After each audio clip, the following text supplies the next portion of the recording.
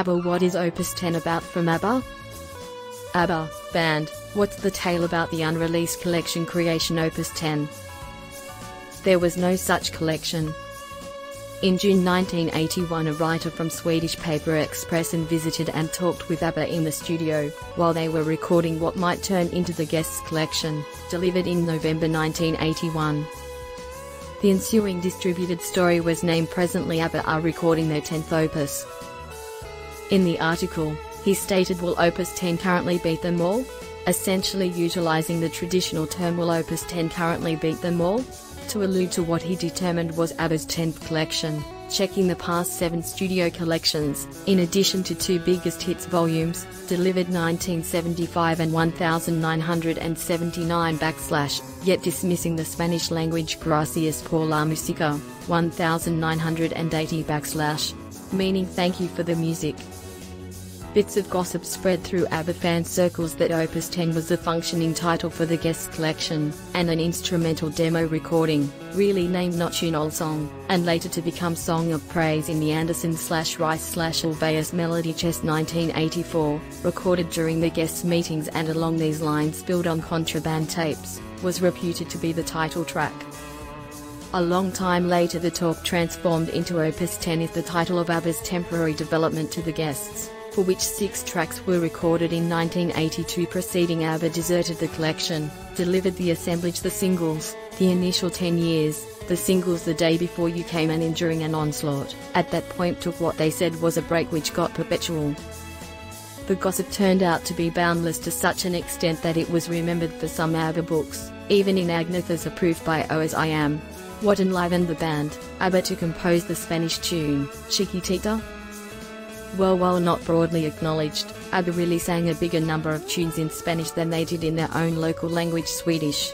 The word Chiquitita is a pet name for a lady signifying minimal one.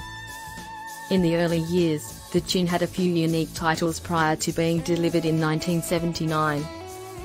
It was on the Spanish language collection named Gracias por la música meaning thank you for the music. After a 1974 visit to Spain and an appearance on a Spanish program, Andante Andante, the group perceived a colossal rewarding business sector for their music. They were at that point delivering tunes in different dialects, for example, English, German and French so Spanish was not an off-the-cuff decision. In 1979 at the idea of RCA Records in Argentina they started recording their melodies in Spanish delivering Chiquitita without precedent for Spanish. It proceeded to turn into an immense hit in Argentina selling a large portion of 1 million duplicates in a couple of brief months. South America had found ABBA. In late 1979 they showed up on a few Spanish programs further hardening their success in Latin America. In mid-1980 a full Spanish collection named Gracias por la música, Thank You for the Music, was delivered and ABBA saw enormous achievement following. So ABBA was dually inspired by a huge market for their music and their colossal accomplishment with Spanish-language tunes. The music saw a resurgence of sorts in the mid-1990s as another age found their music and the music lives on. An accumulation collection of their best Spanish tunes named ABBA Oro, Grandes Éxitos was delivered in the mid-1990s. Is Dancing Queen the best ABBA tune? It's one of their best however they have so many. I believe it's one of their nine number one hits.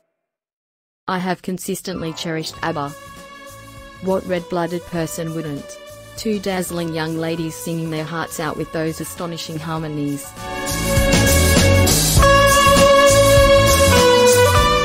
In any case, as far as I might be concerned, indeed, it's their best. I thoroughly love this tune. There's an explanation I love this melody. My more established sisters, twins Laurie and Tracy, and I did a home film of the twins doing Dancing Queen lip matching up to it. It ended up being one of our best video melody home motion pictures and we did a lot of them. The young ladies additionally rehearsed this tune with my band and worked effectively on it. Their voices mixed so great, they seemed like Agnetha Faltskog and Anni-Frid Lyngstad of ABBA. The two of them had extraordinary voices however Tracy was in every case too timid to even consider getting up in front of an audience. Laurie cherished it since she adored singing. At whatever point they came down to see my band when we were visiting the area and in the event that I wasn't visiting with another band, Laurie would come in front of an audience and do a tune. Probably the best tune was Child It's You by a band called Smith. Laurie sang it precisely like Gayle McCormick the lead vocalist of Smith.